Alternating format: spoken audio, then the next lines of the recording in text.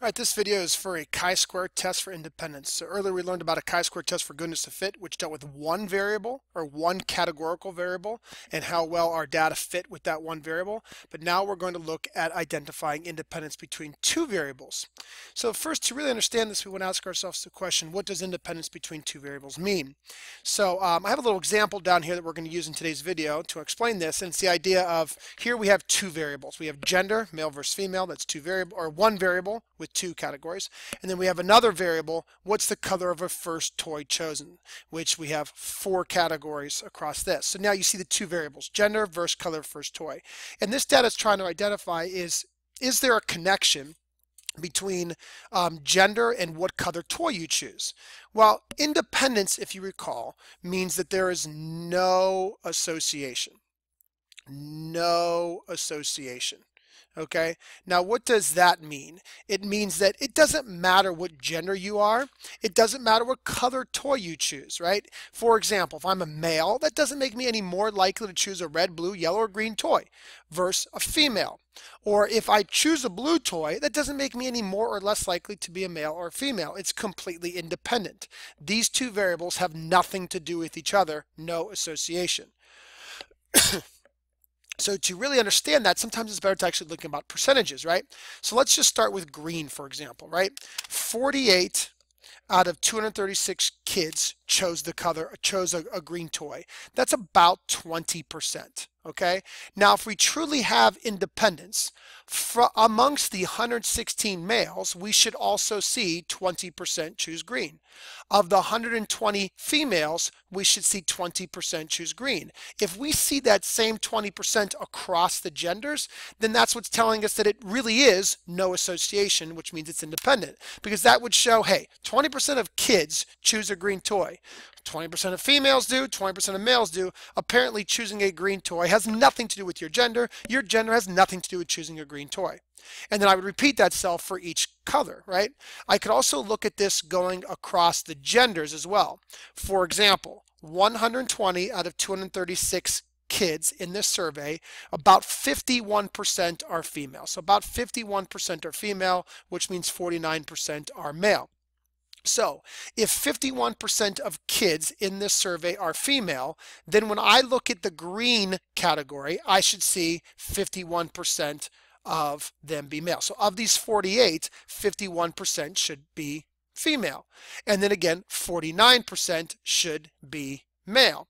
Across yellow, in that yellow category, I should see 51% female, 49% male. In the blue, I should see 51% female, 49% male. In the red, I should see 51% female, 49% male. Again, if I see those same percentages across the board, what that tells me is that it, once again, there's no association. Gender, color, they don't impact each other at all. If I choose red, I'm not more likely to be a male or female. If I'm a female, I'm not more likely to choose red or blue or yellow or green. It's the same across the board. And this is what we mean by independence, right? So what we want to essentially do here is check our data. Do we have independence? Now, first and foremost, in the world we live in, this is just a sample. So don't ever expect the data to match up perfectly to the 10th decimal point, okay? And that's the point of why we're doing this test, is we're saying, okay, our data is not perfect, but is it is it just is it close enough that you know there is no association?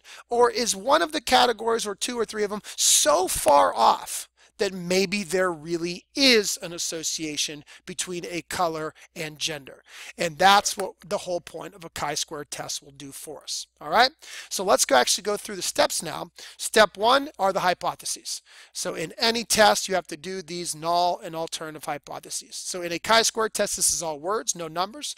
So um, the null is that um, there is independence between gender and color of toy. Now, if you want, you could also write this as there is no association between gender and color of toy, right? But that's what independence means. So we could just say independence. So basically the null is that no, there's no connection. If I'm a guy, I'm not more likely to choose a blue toy or red toy, yellow toy. If I choose a green toy, I'm not more likely to be a male or a female. It's there's no there's no association. It's truly independent, right? That's the null. The alternative is that um, there is not independence. Between, and again, as you write this, make sure that you contain that context. Don't just say independent versus not independent. You got to make sure you have that context. There's not independence between gender and color of toy which um, we could also say maybe it actually would make more sense to say that there is an association, right? There is an association between these two variables. You don't have to mention any particular color or gender by name. It's just the idea that these two variables, gender and color of the toy, do have some connection. Like maybe blue toys are more liked by guys. I don't know. We'll find out. All right, so now we're on to the conditions. These same three conditions should sound familiar. Condition number one is that it must be a random sample because we don't want any bias to creep in here. And if for us to truly have a good sample, it does need to be free of bias. Number two is our sample does have to be under, or I guess our sample size. So sample is under 10% of the population. And we've talked long enough about that condition to know why it's important. And the third condition is that you do need um, five or more expected counts in each category. Five or more expected counts in each category. Now I'm going to write this, but we actually can't check this off until we actually do our expected. Um, now, most kids look at the chart and they say, oh, all of those are more than five. No, no, no, remember, those are all observations. So don't look at those numbers. I mean, those numbers are needed, but the actual condition results in the expected counts all being five or more. So those are okay, but we got to make sure we check the expected counts first. All right. So now let's actually go and do our work. And um, that work is all about finding our chi-squared. Now remember how do you got to find a chi-squared, right? Chi-squared is a really easy formula. It's the observed value minus the expected value squared, all divided by the um, expected value. Okay, observed minus expected squared divided by the expected. Now all of the values in this chart are the um, observes, right? So these eight numbers in the chart are the observed values. So we just have to now find the expected values. And I'll walk you through it and then I'll teach you a little trick that makes it simple, right? All right, so here's the idea, right? For example, uh, 48 divided by 236, or about 20% of toys are green. And I should see that same 20% amongst the males and females. So I would take the 116 males and times it by 20% to get the expected males there. Take the 120 females, times it by 20% to get the expected greens. But, you know, that's kind of rounding, so it's not exactly 20%. It's pretty close, though. So I don't want to do any rounding. So the easy way to get your expecteds is to think row total times column total divided by grand total. For example, females that like green, the expected should be found by taking the row total 120 times the column total 48 divided by the grand total 236 and I get 24.41. I'm going to change the size of my brush here so it's a little bit smaller so I can fit that in there because it gets kind of messy. 24.41. Okay, now for the guys, the males that like green, again, row total 116 um, times uh, column total 48 divided by grand total 236, I get 23.59. 23.59. And I'm going to repeat this for all the colors. This does take a little bit of time, but most of it's on the calculator. And I like just kind of writing it in the chart there, keeping all my work nice and organized. That way my observes and my expecteds are right next to each other. All right, so yellow, 120 times 27 divided by 236 is 13.73. And for the males, 116 times 27 divided by 236. And make sure that you're typing this in correctly. 116 times 27 divided by 236, 13.27. And now blue, 120 times 58 is the column total divided by 236, 29.49. And uh, it is important to use the decimals as well because you definitely don't want to, um, you know, it's okay to have expected values with decimals, or it's okay for your expecteds to be decimals. I'm running everything in two decimal places. That should be pretty good for accuracy. All right, males blue, 116 column total times 48 for the column total divided by 236, 28.58. And now for red, let's see here, 120 times column total 103 divided by 236, 52.37. And males, let's see here, 116 times 103 divided by 236 and I get 50.63. Now what I kind of like to do is just kind of look at these and see if any of them are like eye-poppingly off. And as I look across, um, I mean not really, maybe yellow, um, female 18 observed, 13.73 expected. That's a little bit off. I mean, red's not really that far off. I mean, again, a little bit, but none of them are like I mean, big time off. And that kind of starts to tip me off that, you know, these numbers aren't perfect. Maybe maybe they're not that bad. But again, you never know. That's why I got to do the chi-squared process here.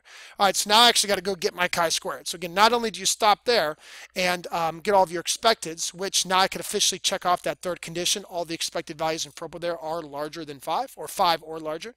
Now I got to go get all my chi-squareds. I like to use the formula exactly written with the parentheses and I type it all in at once. So for example, female red, I'll do observed 48 minus 52.37 in parentheses, squared on the outside, divided by the 52.37. Do it all at once on your calculator using parentheses, makes it real simple to type in, and you get a chi-squared of 0.36. I'm also going to round all of these to two decimals. Now for males red, 55 minus 50.63 squared divided by 50.63, and check that you type that in right, and I get 0.38. So really take the time to use your calculator. I, again, I like to do it all at once, just using the parentheses. It's really not that bad. Just make sure that square is on the outside of those parentheses on top.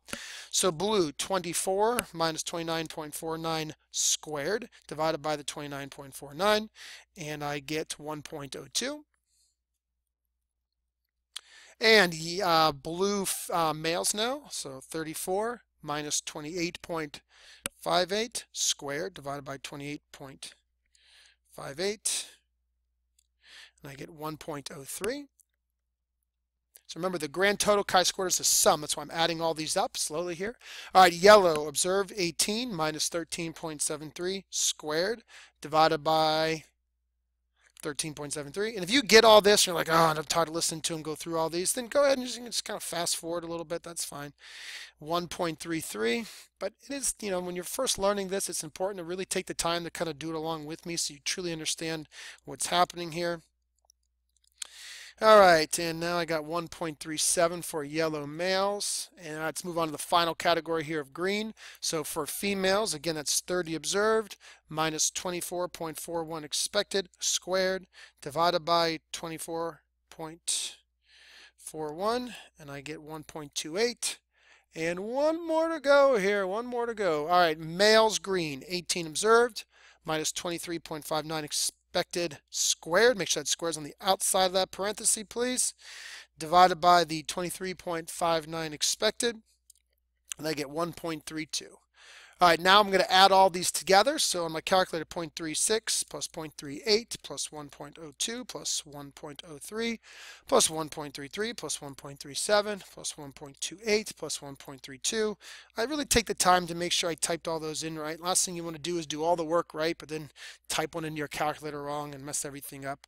Uh, 0.36, 0.38, 1.02, 1.03, 1.33, 1.37, 1.28, 1.32, and I'm getting a chi-squared total of 8.09. All right, now it's time for my p-value because your p-value is really what's going to help you get your final result here.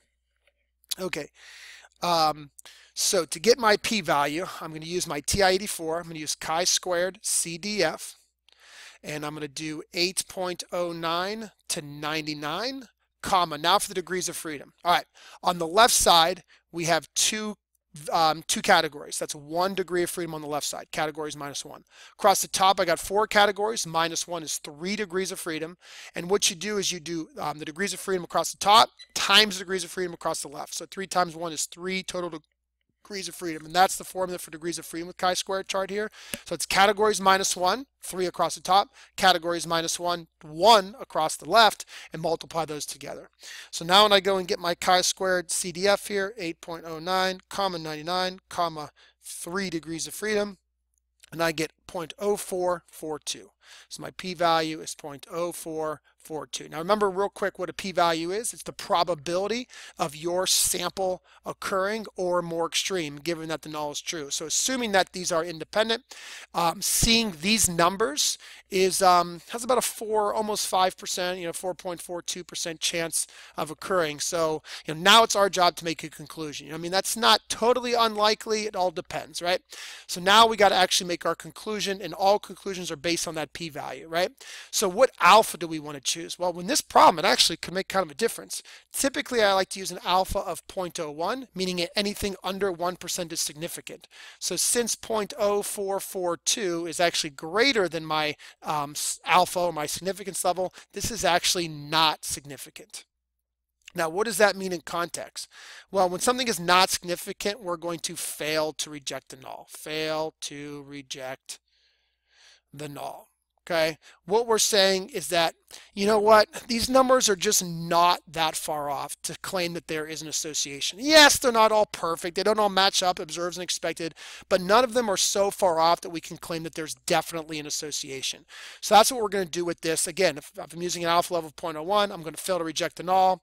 There is no evidence, at least no significant evidence,